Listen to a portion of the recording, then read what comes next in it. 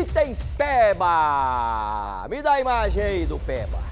O Peba foi na floricultura. Olha lá, é meu trem é danado, hein?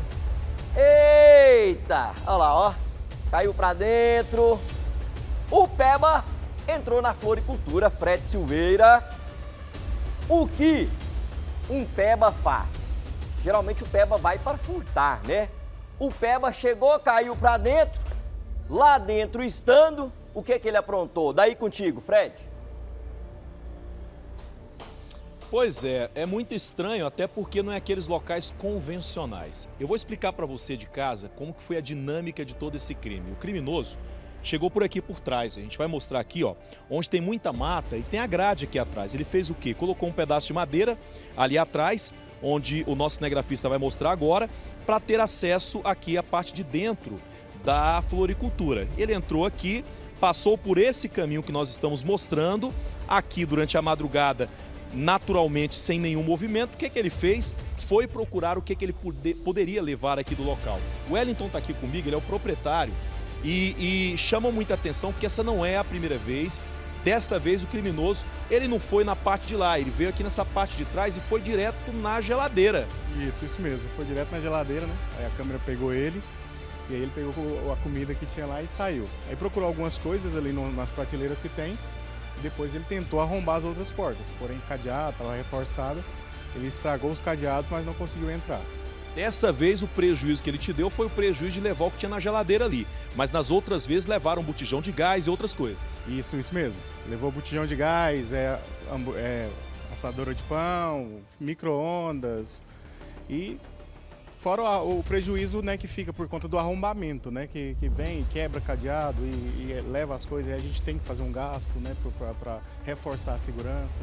Agora o Wellington tem um detalhe, né? Porque tem uma pessoa que cuida aqui, por isso que ele não conseguiu dar um prejuízo maior. Isso, isso mesmo. Aí o rapaz que fica aqui cuidando escutou o barulho. Na verdade, ele pegou e foi lá na onde o, o menino fica e tentou arrombar a porta também. Porém, o menino escutou o barulho, deu um grito e ele saiu correndo. Aí foi a hora que o rapaz me ligou e eu vim para cá no, no, nesse mesmo horário. Olha, a gente vai mostrar aqui o que, que acontece. Nesse momento, o pessoal está fazendo a troca das fechaduras. Aqui é a câmara fria, onde ficam as rosas, e o pessoal está trocando aqui. Ó. O pessoal acabou de colocar, estão soldando fechaduras mais, mais reforçadas. Como a gente vê aqui, está até quente ainda, que o rapaz colocou agora. Colocou também outra mais forte pelo lado de dentro, que a daqui foi destruída pelo criminoso. E a imagem que nós estamos mostrando, vem comigo aqui, Juscelino, para a gente mostrar, cuidado com o degrau aqui foi captada por essa câmera de segurança aqui em cima, aquela lá que mostra o criminoso entrando nesse espaço que é a cozinha aqui da floricultura. O criminoso entrou aqui, mas quando ele entrou, ele não foi atrás de nada a não ser a geladeira.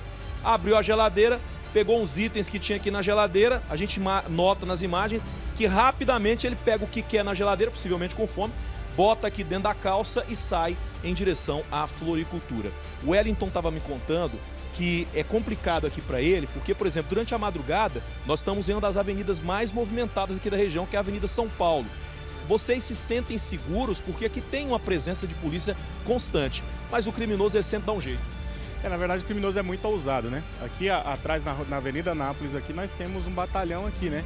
Que fica 24 horas, é, se não me engano, eles ficam 24 horas. Então, assim, é, é ousadia mesmo, né? E também tem câmeras na, na, na avenida, câmeras aqui na loja. Isso não intimida. Não intimida. Olha, o que ele está falando, o Hélio está falando, condiz, porque é o seguinte: nós estamos de fato a poucos metros de um batalhão da Polícia Militar que fica aqui na frente, na próxima quadra aqui. Câmera tem tudo quanto é lugar, a avenida é movimentada, mas o criminoso não se sentiu intimidado. Em nota, a Polícia Militar disse que essa demanda de segurança aqui na região é sempre atendida pelo 41º Batalhão e que eles sempre pedem que o comerciante entre em contato e faça o boletim de ocorrência, foi o que você fez. Isso mesmo. Aí minha esposa foi lá, fez o boletim de ocorrência, registramos tudo, né, o BO, e agora é arcar com prejuízo, né? Porque assim, nem, nem, eles nem conseguem vir tirar uma digital por conta que, como a gente teve que mexer para poder abrir a loja e trabalhar, eles é, perde o flagrante, na verdade, não sei se é flagrante que fala, mas... mas... a sensação do, do, comerciante é, é dor no coração. É indignação, né? Indignação, porque você trabalha, você corre atrás, você procura melhorar suas coisas para um cara vir aqui numa noite quebrar suas coisas e levar o seu bem, levar, por mais que seja pouca coisa, mas isso dá uma, dá uma sensação de, de, de perca muito grande, entendeu? É essa sensação que fica para o comerciante. E a gente termina essa participação mostrando, mais uma vez, a imagem do ladrão faminto que entrou no comércio e foi direto na geladeira. Muito obrigado, Fred Silveira. Agradeço aí o pessoal da Floricultura. Valeu, meu irmão.